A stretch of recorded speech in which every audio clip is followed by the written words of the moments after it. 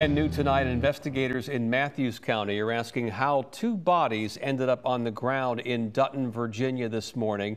Deputies responded to Twiggs Ferry Road around 10 a.m. A man and a woman were found dead. A preliminary investigation revealed the incident was domestic related and had taken place during the night. Both bodies are in the custody of the medical examiner in Norfolk. The sheriff's office says there is no threat to the community.